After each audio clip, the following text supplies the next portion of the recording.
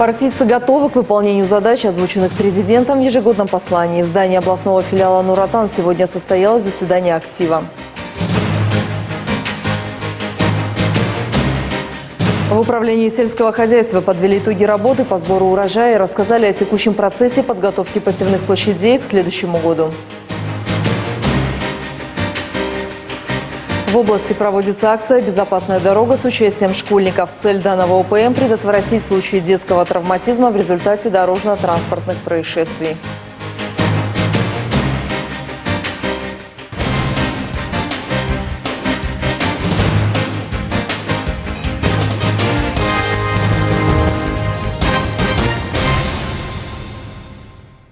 Здравствуйте, вы смотрите программу «Факс». В студии работает Ирина Черней.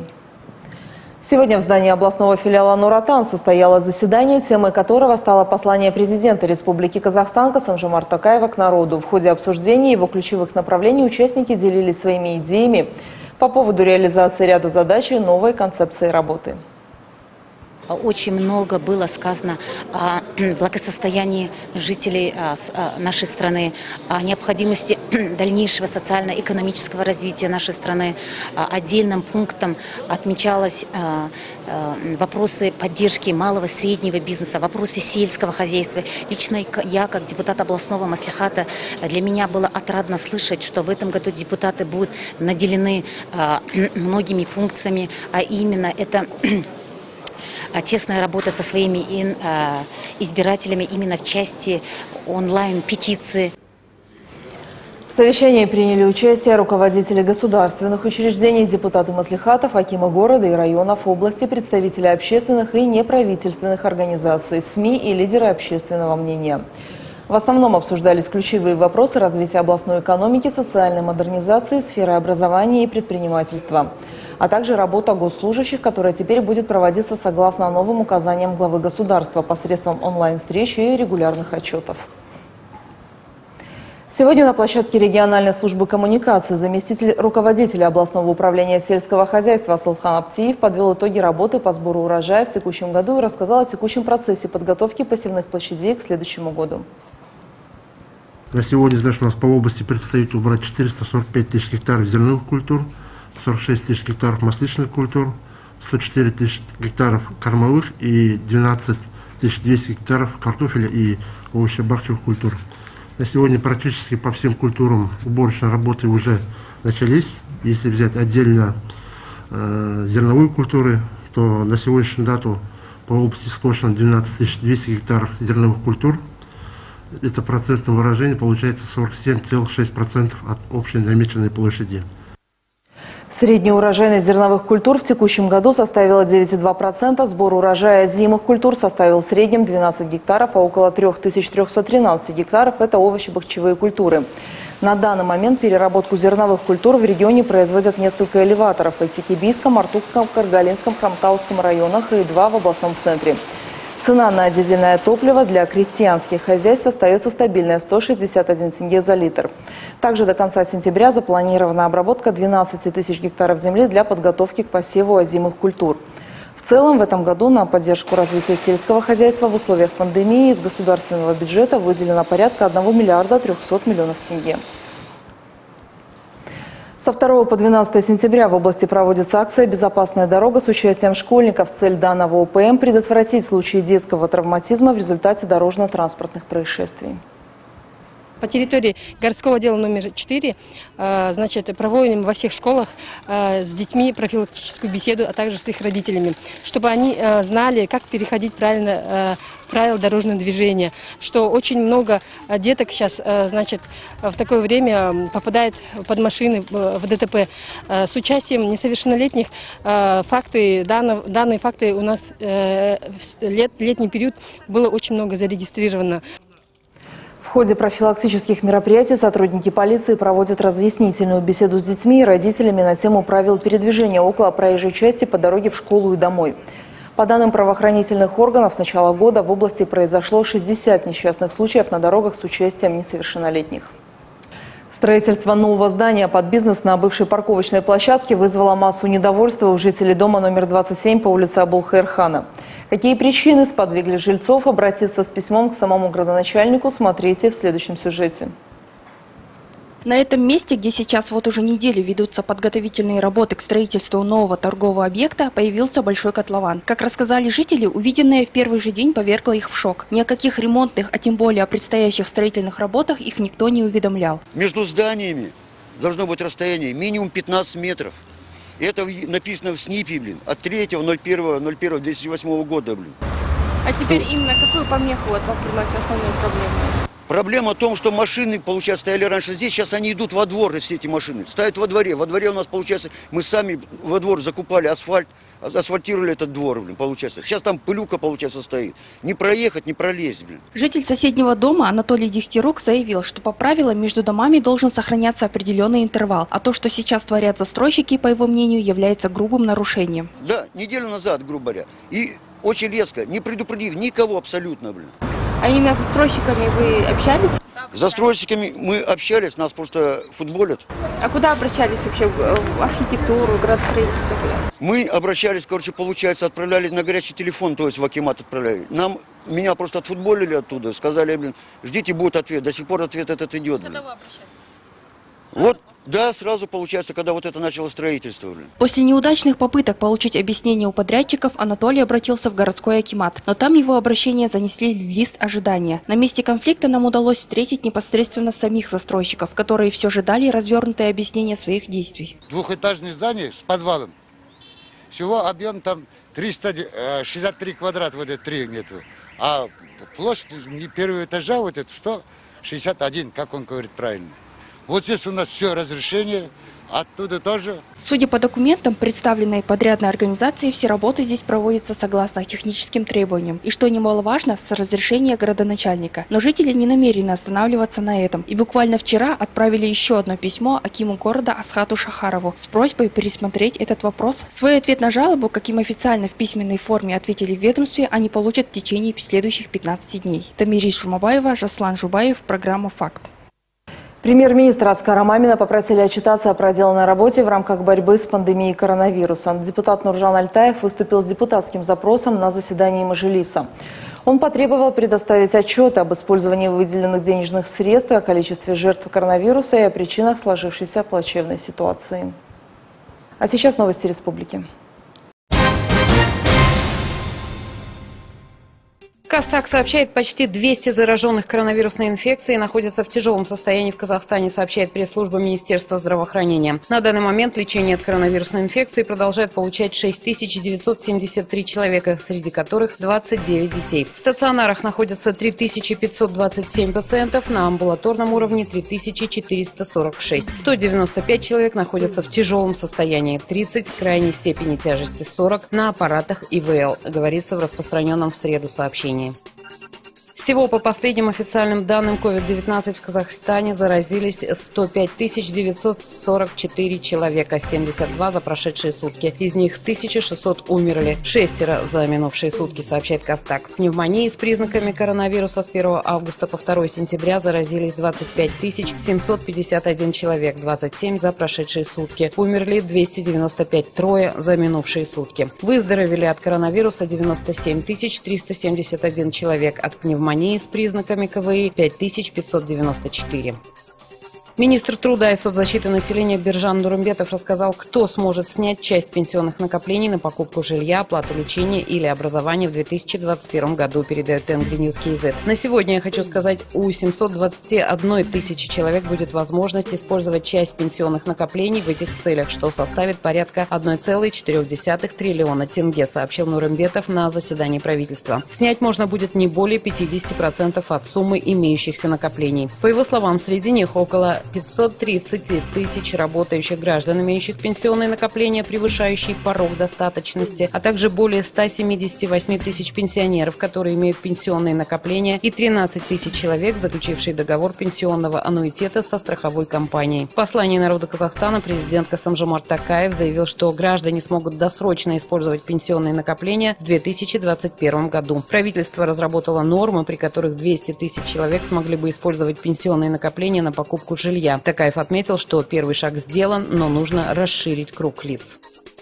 Кастак сообщает, не менее 15 назначаемых президентом Казахстана топ-чиновников потеряют работу в связи с последним поручением главы государства Касым Жамарта Такаева. Это ответственные секретари министерств, нацэкономики, иностранных дел, сельского хозяйства, финансов, энергетики, здравоохранения, информации общественного развития, торговли и инвестиций, цифрового развития, инноваций и аэрокосмической промышленности, юстиции, индустрии и инфраструктурного развития, культуры и спорта, образования и науки, труда и соцнаселения, экологии, геологии, природных ресурсов ресурсов. По поручению президента Казахстана Институт ответственных секретарей упразднят в Казахстане. Ранее в ходе выступления с посланием народа Казахстана Такаев заявил о том, что в Казахстане необходимо упразднить Институт ответственных секретарей. По словам главы государства, спрос должен быть с одного человека – министра, назначаемого президентом.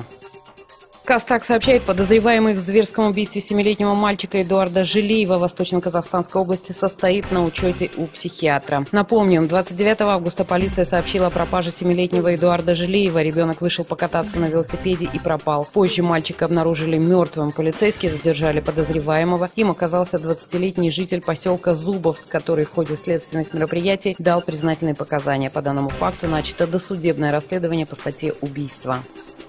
Следователь управления полиции Нурсултана от лица потерпевшей написал заявление о примирении и закрыл дело, сообщает время. Нургалит Люберди, 27-летний старший лейтенант полиции, получил свое производство заявления от местной жительницы. Она указала, что неизвестные мошенники через социальные сети завладели данными ее кредитной карты, после чего сняли с нее 47 тысяч тенге. Был установлен подозреваемый, им оказался житель Павлодара. Дело было на грани раскрытия, однако следователь закрыл его сам. Он напечатал встречное заявление от потерпевшей, где указал, что она получила назад свои деньги в связи с чем просит прекратить расследование. Спустя три месяца потерпевшая обратилась в прокуратуру. Самодеятельность Нургалит Люберди раскрылась. Ему вменили злоупотребление должностными полномочиями и заведомо незаконное освобождение от уголовной ответственности. Суд приговорил экс-следователя к трем годам ограничения свободы. Кастак сообщает, полиция проверила психбольницы Мангостауской области после сообщений о маньяке из России. Были проверены все учреждения, данная версия не подтверждается. Однако руководством департамента данная информация взята на контроль, сообщили в пресс-службе ДП Мангостауской области. Ранее сообщалось, что подозреваемый в жестоких убийствах женщин россиянин Валерий Андреев может скрываться в психбольнице Актау. Кастак сообщает, краснокнижную белугу весом почти 120 килограммов поймали в Атырау. В настоящее время рыба доставлена на Жейкатырауский осетровый рыбоводный завод. Ее пол и возраст уточняются. Отмечается, что эти осетровые занесены в Красную книгу, так как находятся под угрозой исчезновения. Сегодня их вылавливают только в научных и селекционных целях. После рекламы смотрите следующие сюжеты. Немедленно открыть дежурные классы для своих детей. С этим требованием родители обратились к руководству одной из городских школ.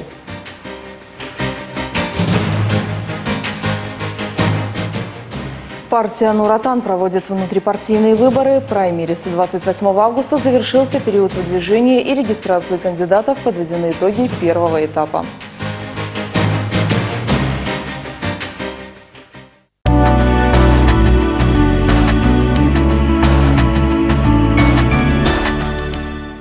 Расширьте возможности вашей рекламы. Новая услуга – реклама с QR-кодом. Это возможность перехода в один клик на ваш сайт или страничку в Instagram при просмотре ролика на Рика ТВ или баннера в газете Эврика. Все, что нужно, навести смартфон. Смотри, сканируй, заходи. Рекламная служба медиагруппы Рика. Звоните 220 250 222 300. эврика газеті баспа нұсқасында сәрсенбі күні шығады. Эврика газеті электронды нұсқада кез келген күні оқылады. Үш w нүкте рика тв нүкте kz сайтында жаңа номер мен материалдардың мұрағаты фотосуреттер мен бейнелер сауалнамалар мен байқаулар және тағы да көптеген қызықты нәрселер бар. Оқыңыз түсініктеме беріңіз тақырып жіберіңіз. Эврика газеті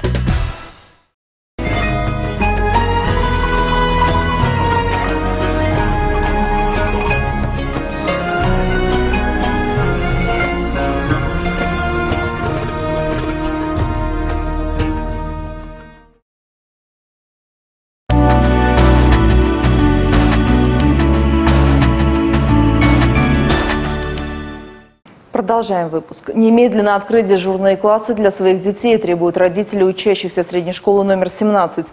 С этим главным волнующим всех вопросом мамы и папы учеников явились сегодня лично к директору школы. Одна из родительниц учеников этой школы, Олеся Короткова, в недоумении, почему цифровые платформы, по которым должен обучаться ее сын, практически не работают. И даже со смартфона получить доступ к какому-либо занятию для них становится настоящей катастрофой. Поэтому Олеся, как и несколько других родителей, решила, что единственным выходом для ее сына в получении знаний станет дежурный класс, которых, к сожалению, в их школе пока нет. Я не знаю, как наши дети будут заниматься. Это уже просто писали с августа месяца. Будут дежурные группы родителей, пишите заявление. Ничего, написали заявление, а толку? 30 числа или какого, с 20 нас уведомляют, что извините, родители, дежурных групп не будет. Мы в последнем, когда 28 или 29 числа, нам только скинули пароли и скинули ссылку, на которую заходить через Балимленд. 28 или 29 числа это было. Как утверждают и другие родители, которые включены в список нуждающихся в дежурных классах, обучаться на дому с детьми для них сейчас главная трудность. Большинство из них находится на работе в дневное время, а следить за дисциплиной своих чат даже на онлайн-занятиях удается не всегда. С этой проблемой они обратились к директору школы. Первый класс я им сказал, сейчас я оборудую 4 кабинета полностью, они будут приходящие. То есть, сами знаете, по положению при открытии дежурных классов максимальная комплектация должна быть 15. То есть получается, у меня любой класс, он должен делиться минимум на три группы. Деление на три группы предусматривает это хотя бы два педагога. То есть по положению министерства педагог может вести одну группу дежурную, одну группу дистанционно. Или если весь класс идет на дежурные классы, тогда две группы по 15 человек. У меня сейчас в данный момент в начальном блоке семеро педагогов ведут по два класса, так как ни университет Жубанова, ни гуманитарный колледж не выпускает учителей начальных классов именно русской школы. Как пояснил директор учебного заведения, из-за недостатка педагогов начальной школы дежурные классы, соответственно, к работе не готовы. Но заверил, что вопрос уже решается в отделе образования. В октябре учащиеся у дежурных классов смогут продолжить обучение уже в очной форме. Тамирис Жумабаева, Сергей Калашников, программа «Факт». 17 августа по 3 октября партия «Нуратан» проводит внутрипартийные выборы. Праймерис 28 августа завершился период выдвижения и регистрации кандидатов. Подведены итоги первого этапа.